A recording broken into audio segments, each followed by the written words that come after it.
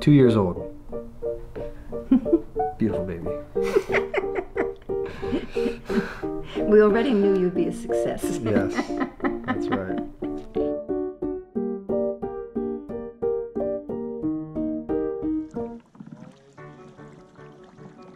I was born and raised in Satellite Beach, Florida. Um, small town, eastern central Florida, right on the beach.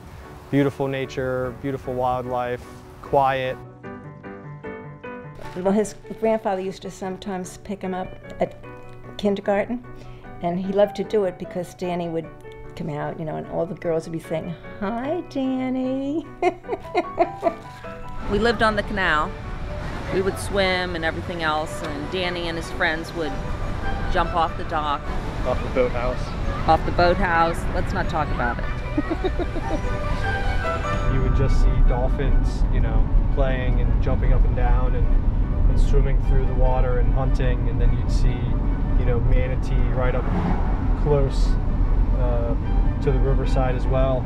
You'd probably walk onto someone's dock, kind of sit there and just wonder in amazement, you know, how we're so lucky to have this natural beauty right in our own backyards.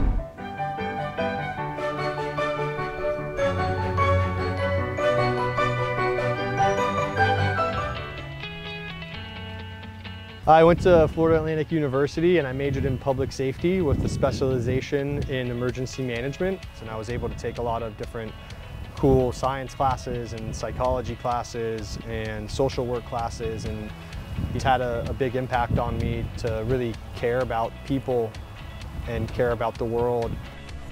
Hey everybody, it's Danny here with 4ocean. We're out here. It really all came together when you, you hear about a company like 4ocean and why you want to get involved. You know, it's about people, it's about the environment, and it's about changing people's behaviors. And those are all things that are extremely important to me. And I was lucky enough to join right when it started. Single-use plastics. We gotta stop this, guys. This is an epidemic. The idea behind the cleanups of 4ocean are to really engage the community, educate and bring awareness to the issues of ocean plastic that is causing a lot of damage to our ecosystems. You know, I've been able to, to really follow my passion and this is something that, you know, I'm, I'm extremely lucky for and, and grateful for and thankful that I can be a part of something like 4ocean.